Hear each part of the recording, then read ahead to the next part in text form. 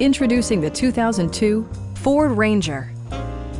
Smooth gear shifts are achieved thanks to the refined six-cylinder engine, providing a spirited yet composed ride and drive. Ford infused the interior with top-shelf amenities such as a tachometer, a rear step bumper, remote keyless entry, and power windows. Enjoy your favorite music via the stereo system, which includes a CD player with AM-FM radio and four well-positioned speakers. Ford also prioritized safety and security by including dual front impact airbags, a panic alarm, and ABS brakes. Stop by our dealership or give us a call for more information.